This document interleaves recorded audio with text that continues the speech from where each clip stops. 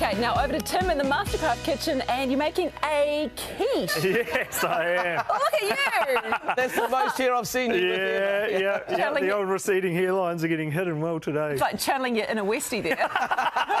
Yeah, nice wee mullet there. Um, yeah, I thought I'd stick with the pastry theme today, Mel, and uh, go with the quiche. What better way to uh, to welcome in the middle of the week than with some kale and a little bit of bacon?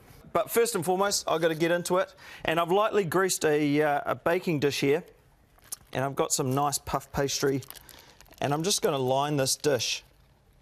Because we're going to blind bake as we did yesterday. And we're going to whack it in the oven for about half an hour. And what that does is it, uh, it cooks the pastry. Oh, I'm really making a real mess. How, how'd you get that plastic on the back of the pastry? That's pretty Oh. I made this pastry myself, actually, Mike. Something you whipped up earlier. the magic of TV, hey? yeah. All right, so I'm going to spend a little bit of time creating a nice wee uh, pastry lining in this dish. We're going to fill it with some weights and bake it in the oven for about half an hour. And then uh, I'm going to prep some onions, some bacon, and I'll catch up with you again soon. In the Mastercraft kitchen, and Tim, today we are doing bacon and kale quiche, which is a great way, I guess, to get some greens into the kids, isn't it? Yeah, it? sneak some in there without them even realising. That's, that's right, it's a superfood, kale. We'll talk more about that in just a minute. So, what have we done? We've blind baked the pastry. Yeah, so that's been baked in the oven for half an hour with some weights, which keeps the bottom of the pastry down. Mm-hmm. You'll see that it's nice and puffed up and a little bit golden around the edges. Uh, I'm just going to whack on the bacon and the onion, and we're just going to grill that a little bit, brown Nice. slightly. Why did you use flaky pastry? Could you use something else? Yeah, I suppose you could use the short crust pastry, pastry which Yep. is a little bit thicker. Uh, it just it means it's a little bit more dense. Right. If you prefer it more dense, then then use more dense. Okay, yeah. nice. Yeah, um, and then I'm going to get you to make the filling. Okay, great. Right? And uh, talking about child obesity, making wise choices, I'm using thickened cream, uh, which is probably not great. But um, Could you use anything else? yeah, I suppose you could probably use something like crème fraîche. Okay, Uh, if you yep. wanted to, it bakes all right. It's something like milk wouldn't set. Uh, and so, yeah, you need to use something, Something a little bit thicker. thick. Yeah, okay, all right, cool. So you whack that in there. Yep.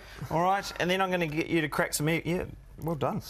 Um, and then, uh, and then you're just going to crack some eggs. Now, a wee tip: don't crack an egg. Is it all right? Yeah, it's good. Cool.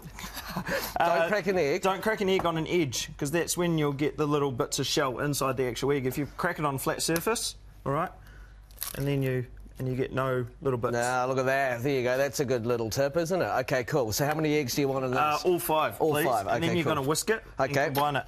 And I'll get on to cooking this. Nice work. So we all love a good kale and bacon quiche. Kale's an incredible superfood at the moment, isn't it? Yeah, yeah. Originally a stock food. Well, that's what it was when I was growing up. Uh, but now people are starting to get into it, and uh, it's- it's in smoothies, it's in salads, it's in everything at the moment. Uh, so I thought we'd whack a little bit on top. Actually, what we're going to do while that's cooking, It's all right. It's fine. Nothing happened. I missed that. No, there's no shells in there. Yeah, good. Close though. no, and, uh, quite fascinating because you know, as you said, it was a stock food, and um, you know, just grew in paddocks, and sheep used to eat it, and cows used to eat it. Um, and I reckon until some hipster kind of blended it into a smoothie in Ponsonby, yeah, Yeah, that's right. Everyone would say, "Oh, kale," Yeah. um, but it is good. It's got full of nutrients and one Yeah. of the lowest calorie foods you can eat, actually. Well, you're a salesman, aren't you? um, so we've just got some kale there. We're Yep. going to toss in a little bit of olive oil, Okay. right? And some lemon juice. So this is the juice of a lemon. Mm-hmm. And we'll throw most of it in there, and I'm just going to toss that. And what we're going to do is we're going to put that on top of our quiche. And so with that, because of the oil and things on top of that, Yeah. once it sits on top of the quiche and it bakes, it's actually going to go crispy uh, Oh, and provide us a little bit of texture. And a little bit of crunch. yeah, everyone Now- loves a little bit of texture, right? Now, what am I doing here? Because I'm scared that I'm mucking this up. No, no. So what you want to do, yeah, it looks a bit funny right now, Yeah. but if you keep whisking it, you Oh, want to okay. combine it, Put a bit of effort into it. Yeah, okay. actually do some work. yeah, okay. Oh, Tim. Oh. Three days and he knows me very well, doesn't he? No, but that's good. You keep me moving Yeah, along. I'll good. keep you moving on. Good. Starting to look like scrambled eggs here, actually. Yeah, yeah. We'll keep going and it'll come nice and golden and, and a consistent colour. Okay. And then basically all we're going to do is we're going to whack the bacon, the onion, and we've got some feta cheese here which I'm going to crumble. Yum. And, uh, and we're going to put that in the base. We're going to pour the egg mixture over top. Top it with kale, whack it in the oven for half an hour. Nice. And uh, and that's when we'll get to eat it. Well, this is quite a um, quick meal to produce, Yeah, isn't abso- it? absolutely. Uh, yes, the, the blind baking and things like that does take a while, but Right. actually the hands-on time is very minimal, so it's it's perfect for the middle of the week. Nice work. Okay, so this is, you're right, this is looking much better now. How are you going? Yeah, good. Building up a sweat as usual, but that's all right. Oh, no, okay, look, no. So you're just going to get all those lumps out. You want a That's nice it. fine texture. That's it.